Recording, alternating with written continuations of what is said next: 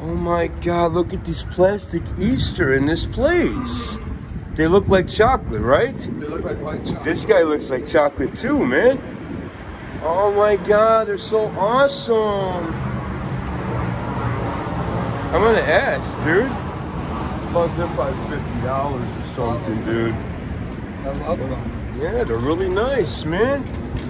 Wow, dude. Plastic Easter, check them out.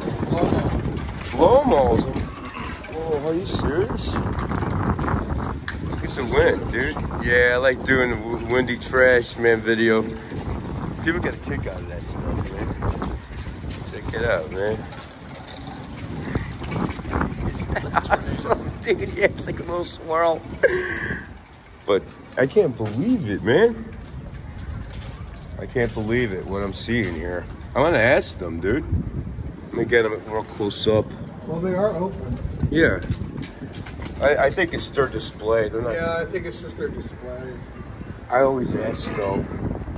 This guy's got to be plastic too, man. They got another one over here. Look, it's a bunny. Oh, look at that! It's, a, in a different it's- way. It's a little bunny.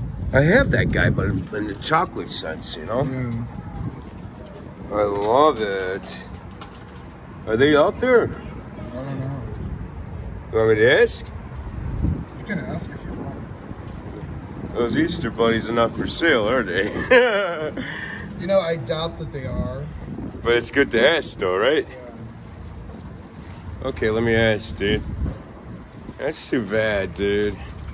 They probably cost an arm and a leg, I'm too. telling you, they probably want a lot from it.